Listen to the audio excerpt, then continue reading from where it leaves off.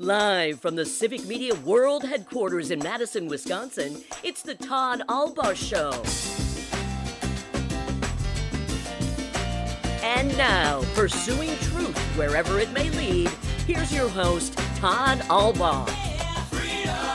Across Wisconsin on the Civic Media Radio Network and streaming worldwide on the Civic Media app.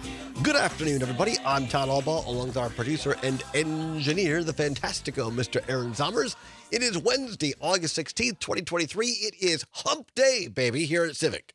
Hump Day. Fantastic.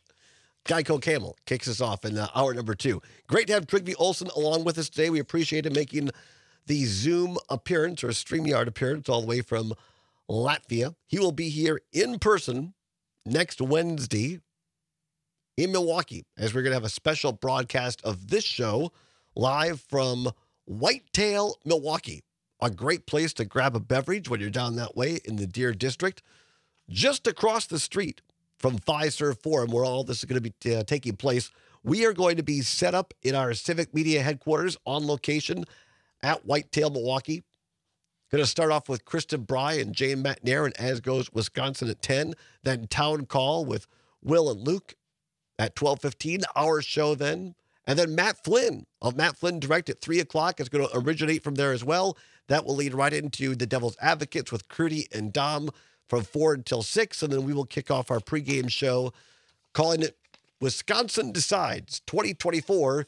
The road to the White House starts here from 6 until 8. That will lead you right up until the debate. Now, we can't carry the debate live because other places have those rights. But we can, in fact, go right up into it. And we're going to give you the, the idea here because Trygve has worked on Republican campaigns, presidential campaigns. Rick Wilson has, Stuart Stevens has.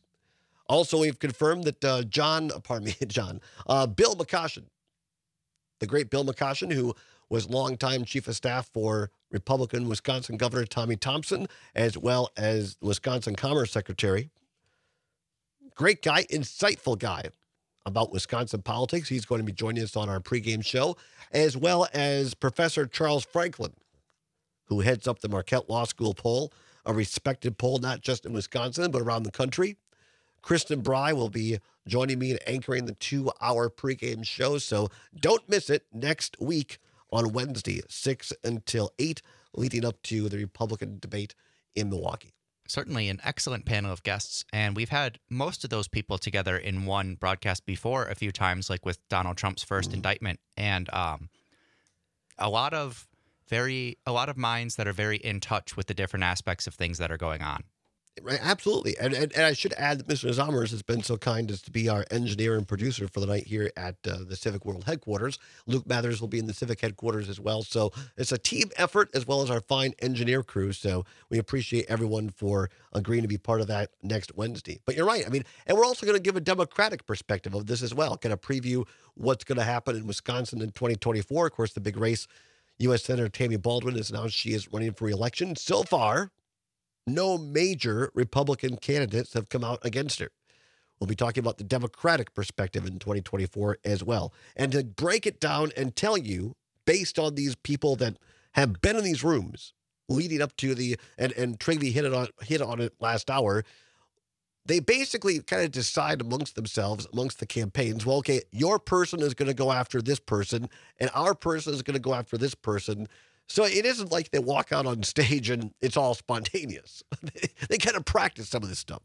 I think that's insightful, right? Before you watch the watch the debate. So looking forward to that next Wednesday.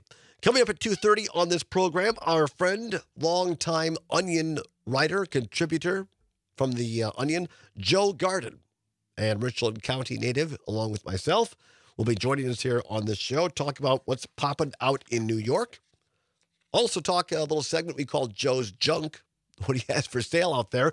And we'll be asking Joe, what did Todd miss? What should I have seen when I was out in New York City? That's coming up uh, at 2.30. But before that, I want to take your calls, get your opinion on, and again, I wanted to talk more in political terms yesterday, but out of respect for our military folks, I did not want to do it on a military base. But we got a real answer yesterday from General May Brigadier General David May, uh, the commander of the Wisconsin Air National Guard, talking about how this hostage situation, I'll call it that. He didn't call it that. I'll call it that. This hostage situation by Republican Alabama U.S. Senator Tommy Tuberville. Tommy Tuberville, of course, a longtime college football coach at the University of Auburn in Alabama, holding up these military appointments. And I want to get your take on this. Are you sick and tired of politics being used in the military? Is the military the one place that we should put aside politics? 844 967 2789. 844 967 2789. Is the military the one place in our government that we should put aside partisan politics and be on the same page? 844 967 2789. You could also get a hold of this via the Civic Media app. You can download it on either your Apple or Android device. Send us a text there. You can also text us at YouTube, Facebook, Twitter. Mr. Zommer's young brain is on top of all of that. He monitors it for us and we'll bring you those comments as well. Because this Tommy Tuberville guy, get this, talk about a carpetbagger. Tommy Tuberville reportedly no longer owns any properties in Alabama and lives in a beach house in the Florida panhandle. I'm not making this up. Well- Are you shocked? I'm not. All right. We'll talk about it on the other side. Take your phone calls as well. 844 967 2789. Don't go anywhere. This is the Todd Allbaugh Show. And this is the Civic Media Radio Network.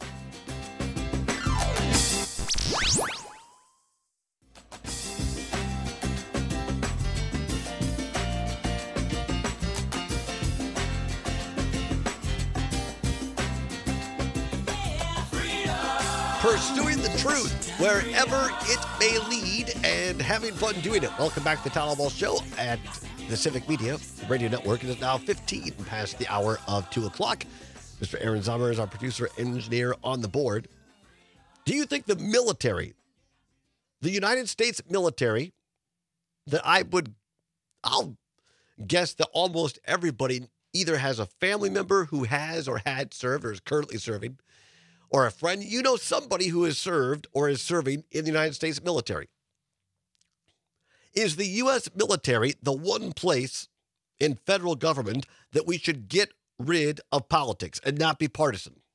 844 967 2789. 844 967 2789. I think that having a military is inherently pol- political on a global sense, but it absolutely should not be partisan. It shouldn't be American politics. It should be global politics. Like, how much of a force do we need to maintain? What do we need in order to stay ready? Things like that, as opposed to, oh, I don't like what you're doing. That has nothing to do with the military. So, or has little to do with the military. So I'm just going to stop them from functioning. How about that? But you're saying, so you're saying that you should put global issues ahead of American interests in the military? Is that what you're saying? Well, I'm saying American interests relative to the rest of the world, Ah, all right, Are- got it, got it. How we determine what we need. Yeah. Because I, I, I think the United States military is one of the finest organizations in the world. Uh, but, uh, you know, the, the primary mission of the military is to defend and deter, right? To, to defend the country against all enemies, foreign and domestic, and also to deter any sort form of, of an attack. And I don't care whether there's been a Republican or a Democratic president in the White House, almost always, anytime our men and women in the United States military are deployed, it is done with thoughtfulness, or at least it sure as hell should be. Because their real lives, when, when, a, when a commander in chief puts our military in harm's way, you are saying that the interests of the country are worthy of sacrificing American lives. And the men and women who take that oath to serve know that. And they understand that. And they will willingly put their lives at risk for the rest of us who do not serve to protect this country, to protect democracy, to protect freedom. But it should be, in my opinion, the one area where our congressmen and women, our senators, put partisanship aside and do what's best for the men and women who put on the on the uniform. What do you think? 844 967 2789. 844 967 2789. And this is very different. Why do you understand? This is very different than, well, should people, should we deploy our military at place X, Y, or Z? I'm not talking about that. I'm talking about supporting the men and women in uniform, period. Not the not the places they get deployed to or the reasons they get deployed, but simply the men and women of our of our, of our military. From uh, the YouTube line, Tony from the YouTube says Jon Huntsman and Pete Buttigieg have both talked about you don't sign up to serve based off of who the president is. The military is above that. And you're absolutely right.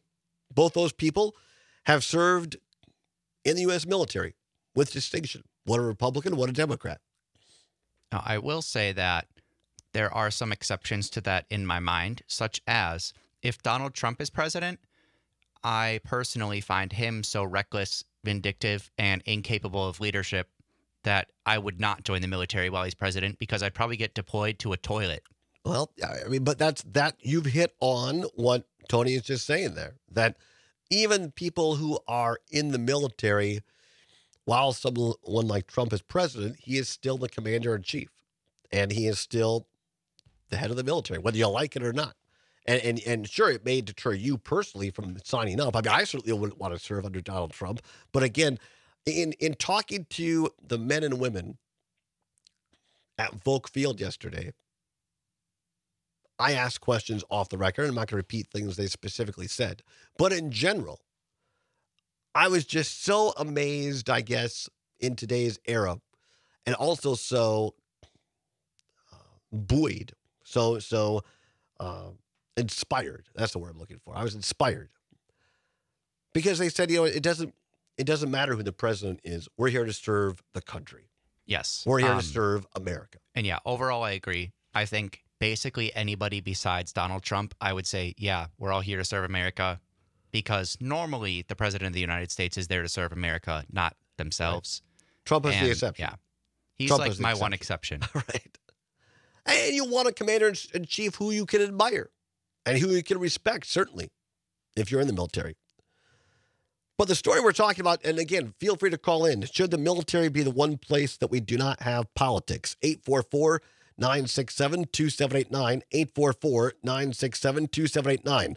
Republican Senator, U.S. Senator Tommy Tuberville, Alabama, pardon me, reportedly no longer owns property in Alabama and lives in a beach house on the Florida panhandle. The Washington Post reported that it found that for nearly two decades, Tuberville has been residing in a $3 million, 4,000 square foot beach house in Santa Rosa Beach, Florida. The Constitution of the United States requires that anyone running for Congress must be an inhabitant of the state they represent at the time they take office. On the face of it, Tuberville is a carpetbagger and should lose his Senate seat. Yet many predict Tuberville get away with it. Now, the framers of the Constitution decided that members of both the House and the Senate would be required only to be, quote unquote, an inhabitant of the state they represent. When it comes to members of the House of Representatives, they don't even need to live in the specific district, just their home state. I didn't know that. Back in 2017, the Washington Post found that 5% of all House members don't live in the district they represent. 5%. But Tuberville doesn't even meet the constitutional minimum of state residency. So, how do you get away with it? Courts and congressional committees have looked into similar violations in the past. They've generally opted for a wide interpretation of what is called inhabitancy. I mean, how, inhabitancy.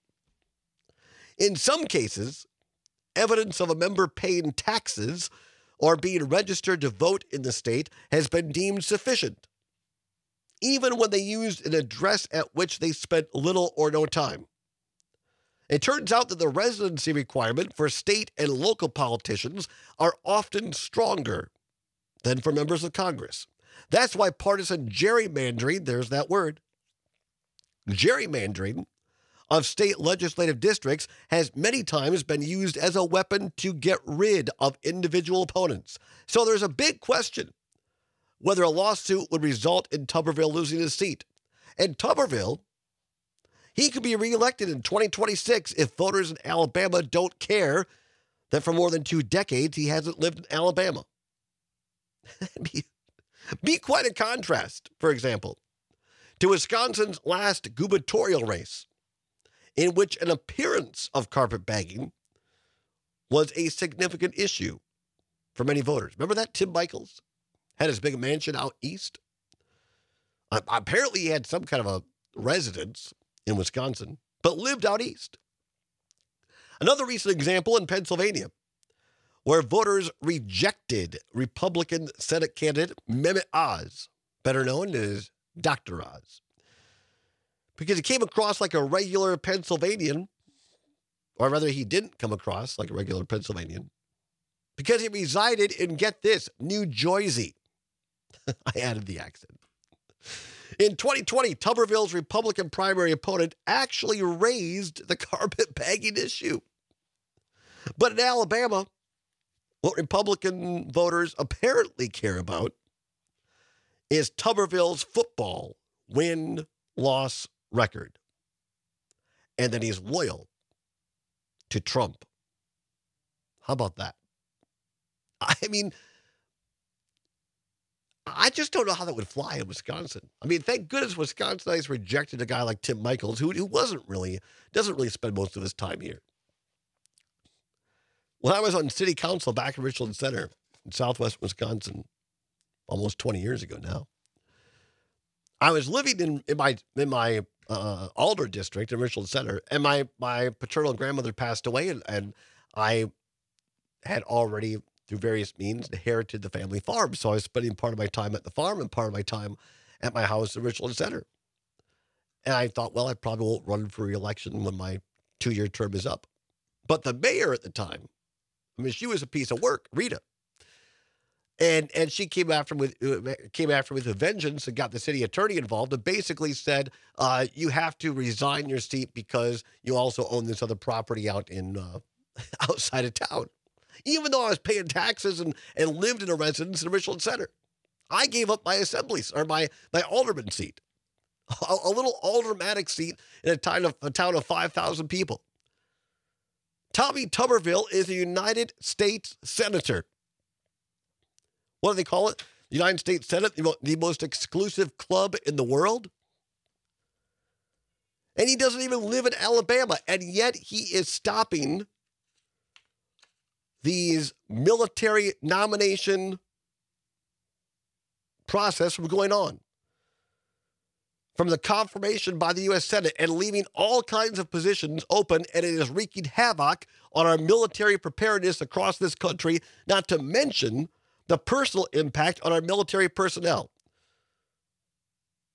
Should the United States military be the one place we don't play politics? 844 967 2789.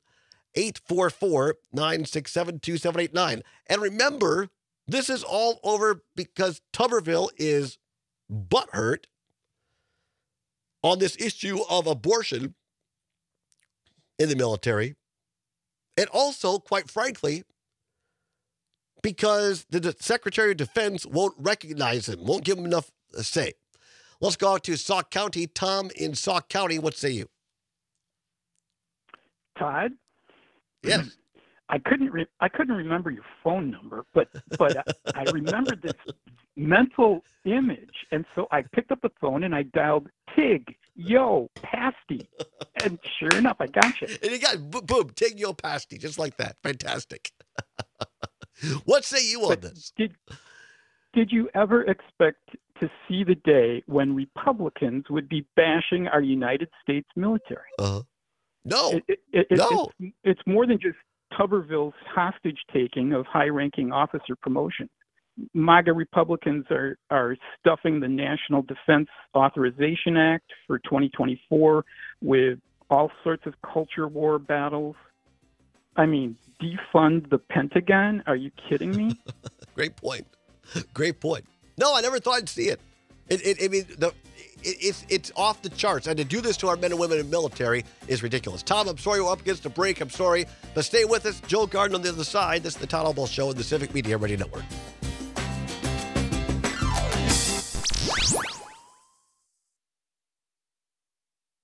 You don't need money when you're famous. They give you whatever you want, gratis. Such as A pair of new shoes with matching laces. permanent box at the sheep's head races. Pastrami on rye with a sour pickle.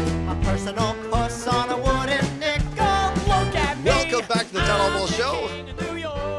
On the uh, that- that's some great music there. Civic Media Radio Network. What did you dial up there, Mr. Thomas? King of New York from the musical Newsies. I, I never heard that. I, I never seen Newsies. Did you ever see that, Joe? I never have either, but I it Newsies is one of those. Uh, I think it's one of those cultural things. I think we're maybe a half generation to a generation too old to uh, to have gotten into because I know a lot. I listen to a lot of podcasts where they just talk about Newsies constantly. really? oh yeah, it's very it's distracting. I actually stopped listening to one because it was a kind of a serious topic, and they were like, and they made a Newsies reference. I was like, okay, that's it. Unsubscribe. Well, with that, one- we're, happy to welcome back our uh, our friend and fellow Richland Centerite, Joe Garden. It's been a long time at the Fantastic Onion, which we were talking about, Joe, before the uh, we came on the air here. We are now on State Street above uh, State and Fairchild here. And of Mhm. course, uh, uh, the Onion offices, I didn't know that it was located right next to the storied Red Letter News. Oh, it's well, it's right across the street from Red oh, Letter. oh, News. right across the and for street. those for those of your listeners that may be a little bit uh, too uh, too young to remember, it was uh, what they call it. It was Red Letter News and Adult Amusement Arcade. Uh, so you know you would. I only set foot in there once or twice. Once was when we were trying to find uh, magazines to Photoshop uh, Governor Th- Governor Thompson uh, uh, uh, appointed or basically the the gist of it was like Governor Thompson getting the title of sexecutioner, and so we were trying to find and I. I I didn't look very hard and I didn't ask anybody because I was like, uh, I just felt kind of a little bit uneasy. right. You know, uh, I was not, I was not made, I was, I was not, I'm not made of as stern of stuff as I'd like to be. you got a little queasy in the arcade there. I got a little, I got a little shaky in the arcade. Yeah. like, oh, the vapors. Oh my. But no penicillin required after a visit. You were you're okay. Absolutely not. I, right, uh, good. I got a bleach spray when I went, when I left Oh. home, as soon as I left. Nice.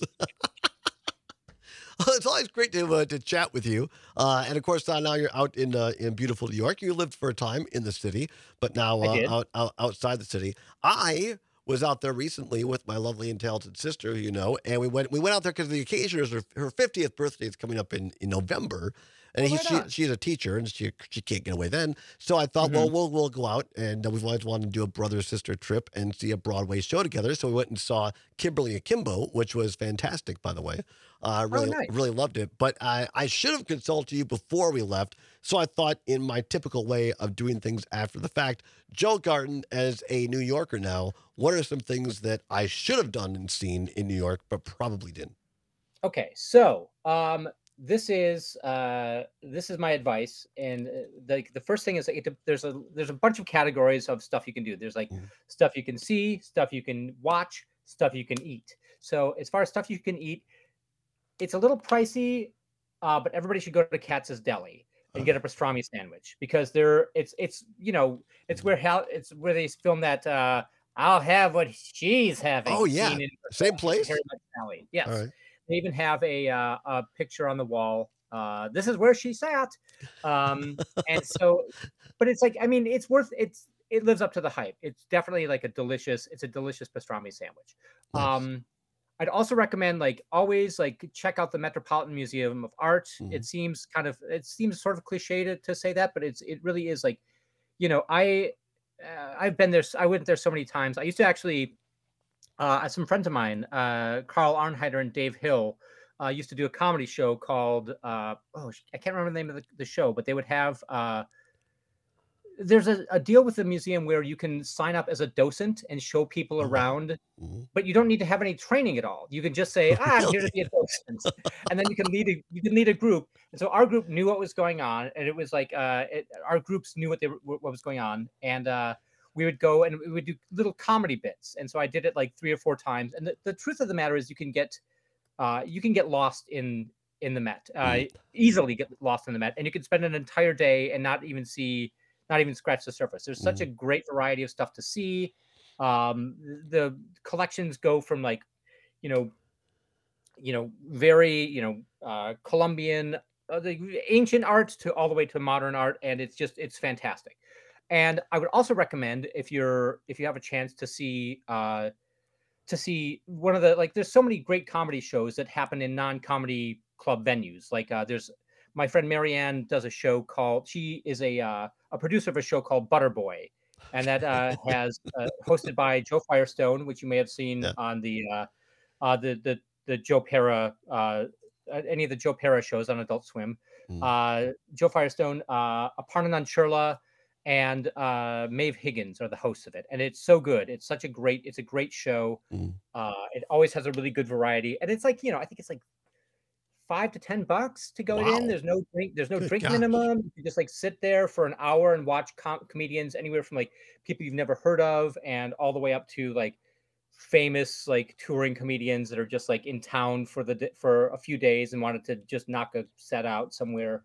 Uh, and I I recommend that. It's just like there's always there's always good stuff to to do for on the cheap.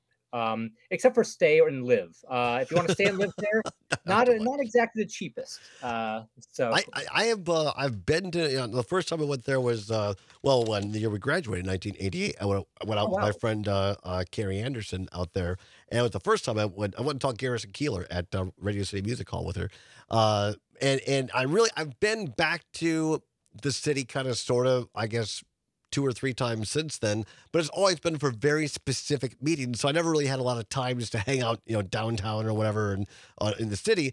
And we are down there in Times Square, and a couple things I noticed. Number one. Uh, I mean, it's just neon city. I, I mean, it's just, I mean, it's just it's all these screens. And, and also, number two, where's the hookers? I mean, there's no more hook, there's no more hookers in New York City anymore. I mean, back in 1988, they were everywhere. And then Judy, I- not not that I was looking for any, by the way, but I just noticed that you didn't see as many anymore. no, they're gone. Like everybody started complaining that Disney, you know, I I think I I never There's no was- Disney hookers. Uh, the, well, Disney when the Disney store moved in, they sort of swept all the hookers off uh, out of Times Square. And it's funny because it's like I don't have any reason to go to the Disney store, and I don't really have any reason to go uh, visit hookers. So I'm just like, eh.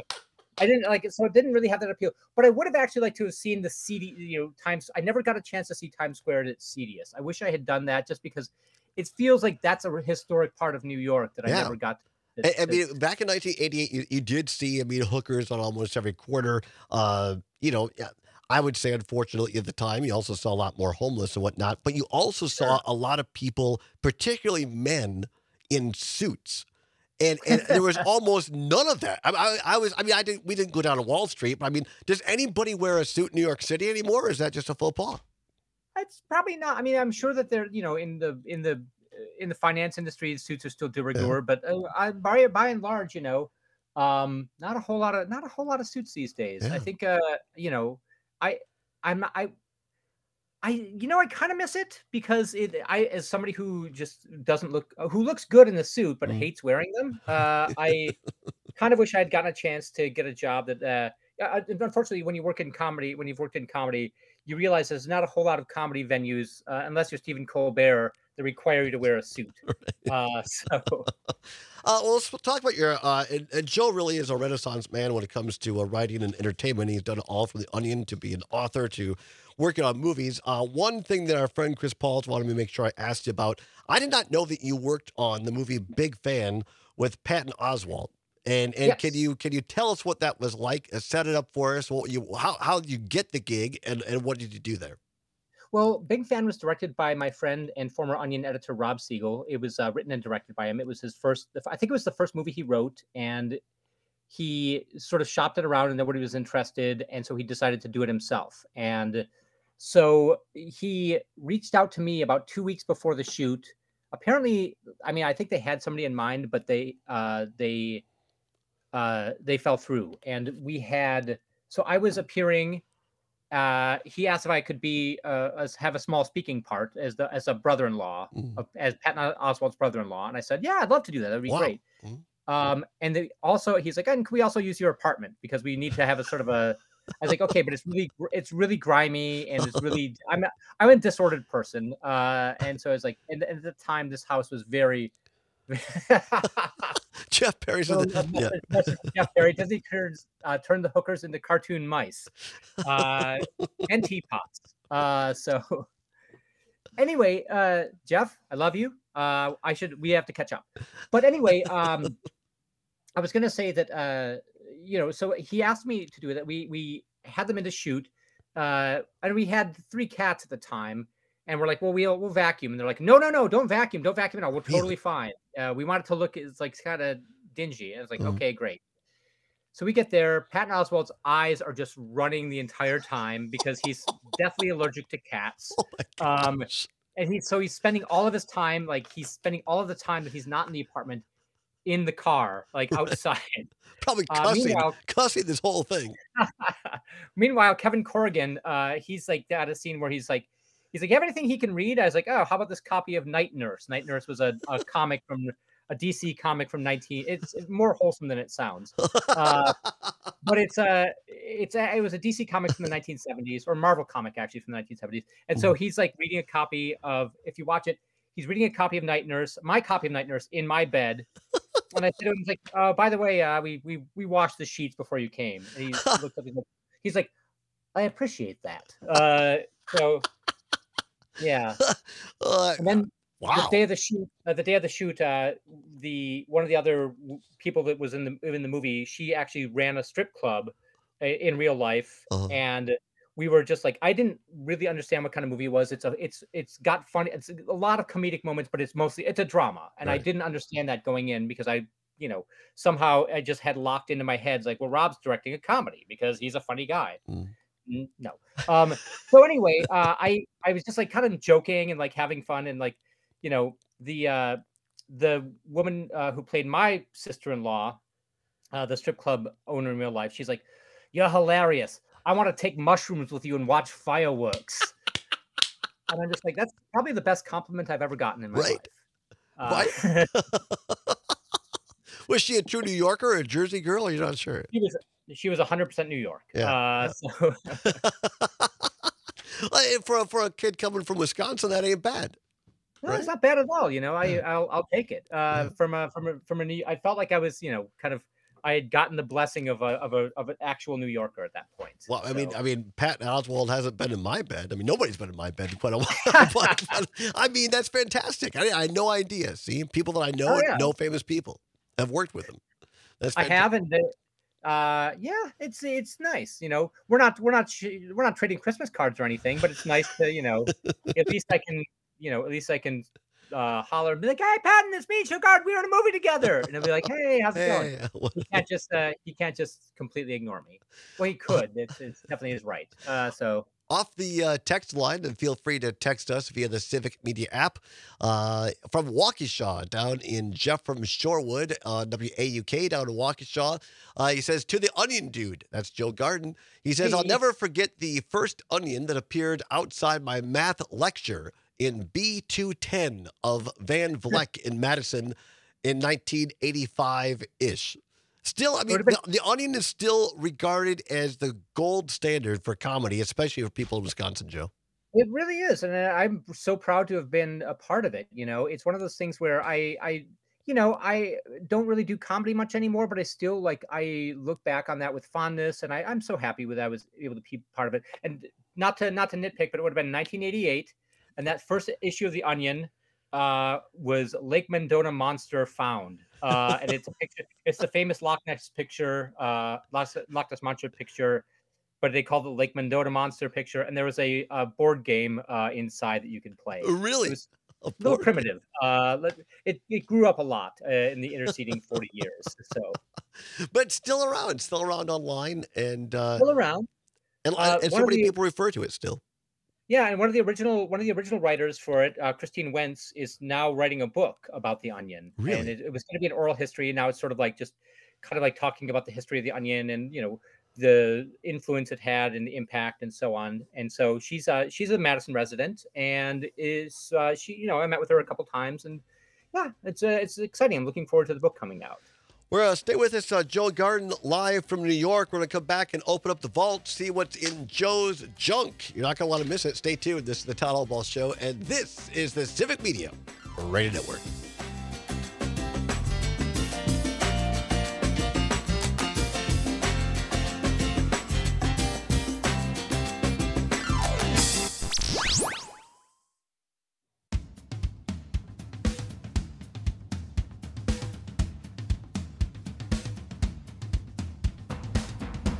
Welcome back to the Todd Allbaugh Show on the Civic Media Radio Network. It is now 10 minutes before the hour of 3 o'clock. At the top of the hour, network news followed by weather, and then our friend and colleague, Mr. Matt Flynn of Matt Flynn Direct. Do not miss it. Great analysis and perspective. Matt Flynn Direct coming up after the top of the hour. Right now, we are chatting with our friend and great Renaissance comedy writer and talent man. It is Joe Garden from New York City. Uh, Joe, we appreciate you taking time as always with us. And this is a great thing we've come up with now, or, or Chris Paul's and you came up with. And I love it because one of Joe's many things he does now is sell stuff. It's not all junk, but we've entitled this Joe's Junk. And maybe with which our, our friend and colleague Pat Kreitlow, we were promoting this on his show earlier this morning, and and he he loved the kind of the double entendre, entendre of the whole thing. so he got a kick out of it. But no, uh, Joe is not showing his junk. This is just Joe's junk. These are things that he is selling. And, and now, Joe, do you have an actual in-person type of rummage sale type of deal, or is this all online now, or is it a hybrid? Well, it's a combination of things. I have a I have a spot uh, at an antiques mall in Kingston, New York. Uh, uh, under and I sell under secondhand Joe's. Uh, Secondhand Joe, I like that. All right. secondhand. So that's hey, it's me, secondhand Joe. I'll do flea markets occasionally because you know you when you buy a lot of stuff, you need to uh, you know it starts to sit around for a while and you need to get rid of it fast. So I've been going to flea markets and you know trying to liquidate stuff. And I've also been doing uh, I've also been doing uh, I do eBay uh, and uh, I was doing Etsy and then I was like, ugh, too much. Uh, I just I even I I only have so much bandwidth. But you know, Todd, let me ask you a question. Please. What does uh what does August mean? Uh, the dog days of August. Dog days of August, dog days of summer, and you know what's right around the corner? Yes. Back to school. Yes, absolutely. That's right. You and I, if you're if you're a parent, and a lot, you know, I, uh, geez, some of our some of our uh, our peers are now grandparents, which is uh, Isn't that crazy? Yeah. Because I'm only uh because we're only uh you know 30 years old, so that's a serious. but anyway, we uh so uh but you want you know you don't want your kid to be picked on or made fun of when No. you send him to lunchroom, right? Right. No, no, no, So of course not. You have to get them uh, from uh, on my eBay store right now. A beautiful Pilsner Urquell, a lovely Pilsner Urquell lunchbox. Oh my God, it's a Give your- lunchbox. Give your, give your child a uh, the, the gift of uh, of a beer lunchbox. They'll be so cool. Uh, Where did, that's fantastic. That's a fantastic piece. it is a fantastic. And I haven't said that in quite a while, but go ahead.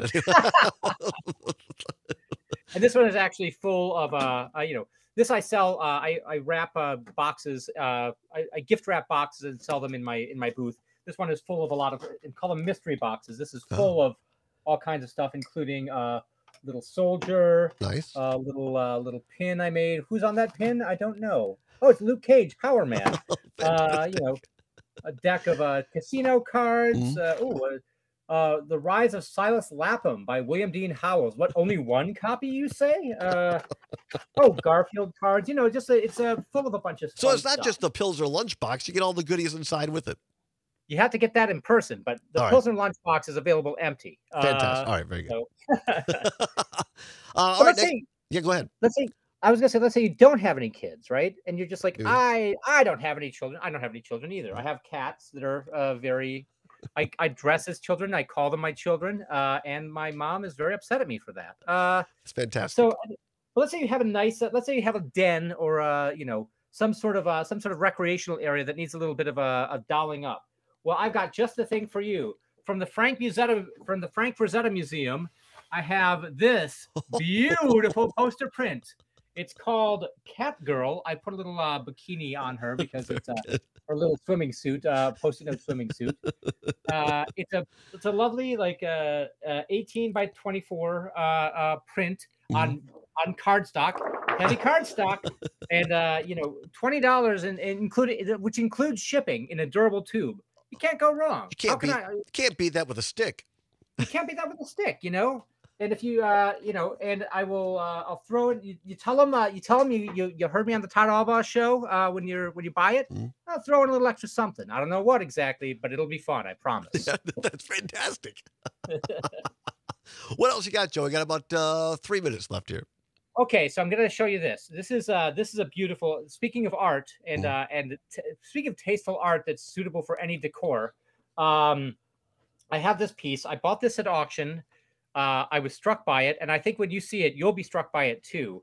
And it's not available yet uh, for for sale, but I, I I finally did some I did some research, found out a little bit more about it, and it is this uh, this beautiful this beautiful print, or it's a beautiful lithograph by the German artist Max Beckmann. Yes.